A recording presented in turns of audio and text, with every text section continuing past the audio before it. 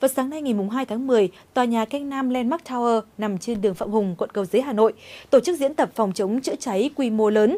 Mặc dù được báo trước từ trước nhưng mà nhiều cư dân sinh sống tại đây lại không tham gia. Trong khi đó thì hệ thống thoát nạn ở đây không hoàn hảo nhưng người ta vẫn kỳ vọng về một công trình hiện đại và cao bậc nhất Việt Nam.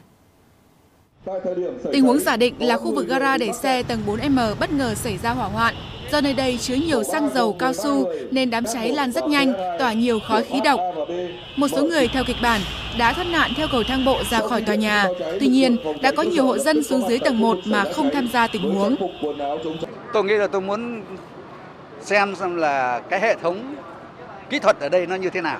Cái đó là cái mà tôi muốn xem. Còn những cái trên kia thì tôi biết rằng là đã có những cái sự hướng dẫn của của các ờ, đồng chí ờ, công an phòng cháy chữa cháy. Trong thời gian diễn tập, hệ thống tăng áp buồng thang có tác dụng hút khói khí độc, đảm bảo an toàn cho người dân di chuyển, bất ngờ ngừng hoạt động. Như vậy, khi có sự cố xảy ra, người dân sẽ gặp nguy hiểm trong quá trình thoát nạn. Lực lượng chức năng yêu cầu nhân viên tòa nhà phải khởi động lại hệ thống này ngay sau đó. Chúng ta phải sử dụng triệt để hệ thống báo cháy, hệ thống chữa cháy, hệ thống điều áp buồng thang, hệ thống thoát nạn của tòa nhà. Đúng không? Chứ các đồng chí thấy rồi, với điều này ba cái xe thang đúng không? Một cái là nhiệm vụ chữa cháy cao, còn hai cái cứu người. Cứ mỗi một lần cứu là được hai người đúng không? Ở đây hàng nghìn người thì cứu đến bao giờ cho hết một nghìn người đúng không? Lực lượng chức năng cũng cho biết năng lực chữa cháy của thủ đô còn nhiều hạn chế, đặc biệt là tại các tòa nhà cao tầng.